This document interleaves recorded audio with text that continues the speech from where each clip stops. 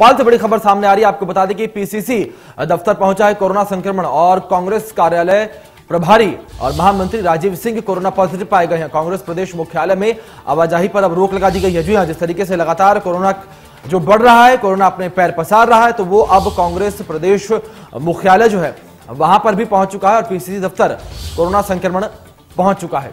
कांग्रेस कार्यालय प्रभारी और महामंत्री राजीव सिंह कोरोना पॉजिटिव पाए गए हैं। इसी के साथ आपको बता दें कि प्रदेश कार्यालय में किसी के भी आवाजाही पर अब रोक लगा दी गई है। इसी बीच सीधे रुक कर लेते हैं हमारे सहयोगी ब्रजेश का जो हमारे साथ बने हुए ब्रजेश आपके पास आना चाहेंगे जिस तरीके से यहाँ पर अब कोरोना कांग्रेस के प्रदेश कार्यालय तक भी पहुँच चुका है। किस तरीके से वहाँ पर व्यवस्थाएँ अब और दुरुस्त की गई हैं?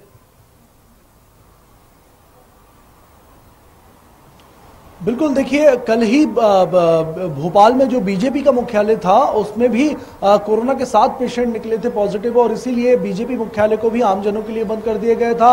नॉर्मल काम जो रोज़मर्रा के चलते हैं, उनमें भी रोक लगा दी गई थी। बहुत ही अर्जेंट काम जो है वो बीजेपी मुख्यालय से संचालित किए जा रहे थे।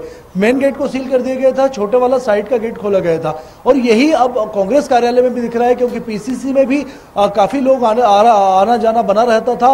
और यही वजह है कि कार्यालय प्रभारी जो थे जिनका सभी लोगों से मिलना जुलना होता है क्योंकि कार्यालय के मुख्य काम को वही निपटाते हैं। राजीव सिंह वो पॉजिटिव आ गए हैं। आज उनकी पॉजिटिव रिपोर्ट आई है। उनको हॉस्पिटल में एडमिट करा दिया गया है। इसके साथ ही पीसीटी पीसीसी को भी पूरे पूरे कार्यालय को सैनिटाइज किया जा रहा है। और मेन गेट पर ताला लगा दिया गया है ताकि कोई भी आमजन या बेवजह की आवाजाही वहाँ नहीं हो सके।